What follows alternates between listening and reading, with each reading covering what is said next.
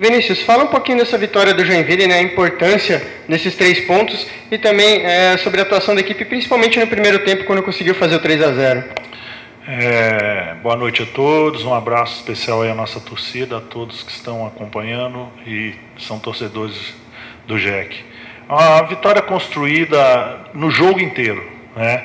ela foi bem marcante, bem absoluta é, o que a gente tinha planejado, principalmente para o primeiro tempo, é a forma que a gente joga é, com, com um time com muita intensidade, tanto intensidade com a bola e intensidade sem a bola, fez com que nós pudéssemos envolver né, o Concórdia, ao meu ver, completamente no primeiro tempo e abrir uns 3 a 0. E eu digo que a vitória ela foi muito importante no tempo todo, porque um time ganha de 3 a 0 né? Eu já vi muitas vezes algum time sofrer 3 a 1 3 a 2 até empate. E no segundo tempo, nós soubemos manter a construção do jogo. O jogo ele é 90 minutos. Então, é, priorizamos a posse de bola, tivemos mais chances, mas soubemos jogar o jogo em si do primeiro ao último minuto.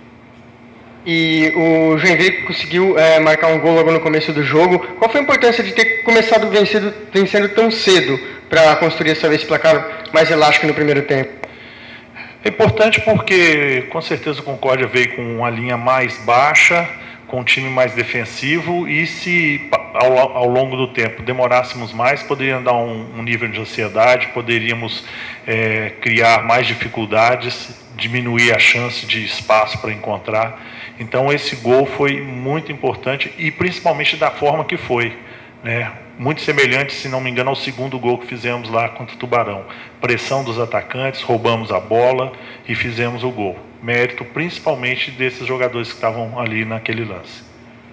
E você acha que no segundo tempo o time deu uma desacelerada? Sim, é início, né? E o Iago, por exemplo, tinha um ano e três meses que não fazia uma partida oficial. Nós ainda não havíamos treinado aqui na arena, é um gramado fofo. É, e está com muito calor e muita umidade e isso realmente afetou bastante. Mas a própria desacelerada foi a construção e a estratégia de vencer o jogo, que é o mais importante. Saber a hora e saber como a gente vai vencer todos os jogos.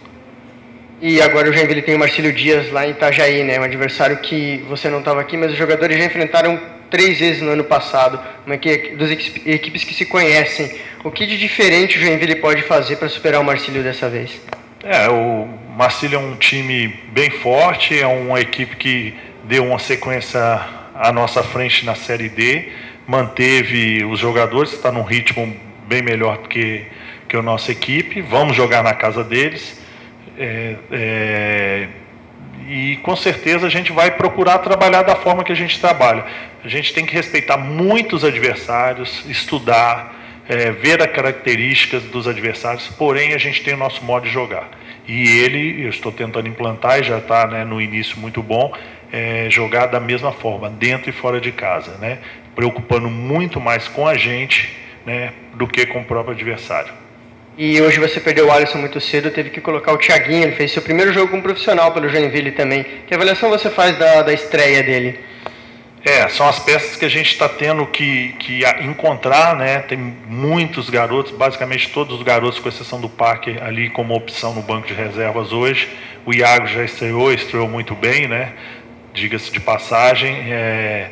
E o Thiago vinha treinando bem, vem treinando bem, vai ganhando oportunidade normal. A gente vai dar moral para eles, vai dar. Eu dou toda a segurança, a responsabilidade é toda minha e principalmente esses meninos da frente. Eles têm que ser moleques, têm que só usar, ousados, têm que divertir no jogo, né? Divertir de uma forma responsável. Eu brinco que a diversão é até na hora de fazer pressão nos zagueiros, nos, nos laterais, né? Fazer aquele, porra, aquela fumaça para que os caras se descontrolem, errem os passos. Então é isso que eu procuro, procuro passar para eles e conseguimos fazer e o Thiago fez uma boa estreia.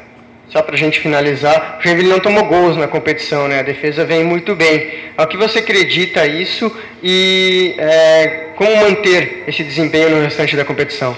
É, eu acredito a aplicação e aquilo que a gente está tentando fazer desde o primeiro dia que nós chegamos aqui, que eu cheguei competitividade, né, inserir competitividade nos jogadores e concentração, isso é fundamental. E o time pensar como um todo, além dos atacantes começarem a marcar, mas em cada setor da, do campo, em cada movimento que a bola está, os 11 jogadores saberem o que cada um pensa para que a gente possa roubar a bola do adversário e não sofrer os gols.